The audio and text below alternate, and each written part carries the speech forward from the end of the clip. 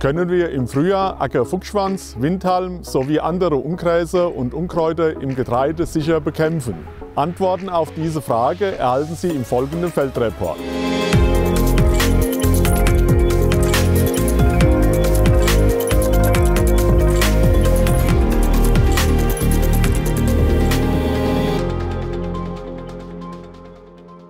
Mein Name ist Ralf Becker, ich bin Fachberater Ackerbau. Thema heute ist der sichere Herbizideinsatz im Getreide. Wie stellt sich die Situation vor Ort auf den Feldern dar?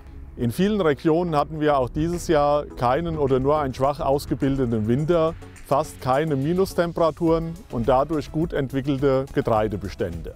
Damit haben wir auch eine anspringende Vegetation und Sie bekommen im Moment schon Hinweise, dass Rapsschädlinge ein Thema werden können. Überlegen Sie aus diesem Grund auch, ob Sie erst die Herbizidbehandlungen im Getreide fahren und dann erst die Düngungsmaßnahme oder auch eine Gülleausbringung planen. Bedenken Sie immer, auch die Ungräser und Unkräuter zehren an dem dieses Jahr doch recht teuren Dünger. Im Folgenden habe ich Ihnen drei verschiedene Standorte mitgebracht, die wir uns genauer ansehen. Bei dem ersten Standort handelt es sich um einen Winterweizenschlag, der eine Herbstbehandlung bekommen hat. Auf dem Schlag ist ein Spritzfenster und in dem Spritzfenster kann man gut die Wirkung der Herbstbehandlung beurteilen. Wir sehen einen schwachen Besatz mit Ungräsern und an Unkräuter finden wir Ehrenpreis, Taubnessel, Kamille und Stiefmütterchen. Bei dem zweiten Standort handelt es sich um einen Weizenschlag, der etwas später gedrillt wurde. Daher ist an diesem Standort keine Herbstbehandlung erfolgt und wir haben einen wesentlich höheren Besatz an Unkräutern und Ungräsern auf der gesamten Fläche. Der dritte Standort zeigt einen extrem starken Besatz mit Ungräsern und macht auch deutlich, warum man zu diesem frühen Zeitpunkt die Herbizidbehandlung auf diesem Schlag fahren sollte. Denken Sie bei den anstehenden Herbizidmaßnahmen auch an den Wechsel bzw. die Kombination der Wirkstoffklassen. Auch innerhalb der Fruchtfolge ein wichtiges Thema. Damit vermeiden Sie eine Resistenzentwicklung bei den Gräsern und Unkräutern.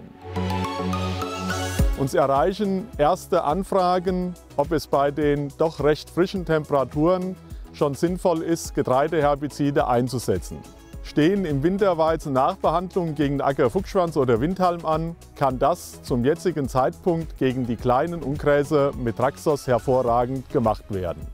Mit Avoxa steht ein weiteres Produkt für die Behandlung von Weizen, Tritikale und Trocken zur Verfügung. Avoxa hat keine Drainageauflage und kann daher vor dem 15.03. eingesetzt werden.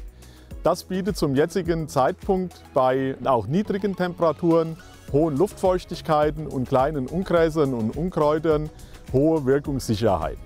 Avoxa wirkt auch hervorragend gegen Trespen und durch die Kombination von zwei verschiedenen Wirkstoffgruppen haben wir hier eine möglichst hohe Wirkungssicherheit eingebaut.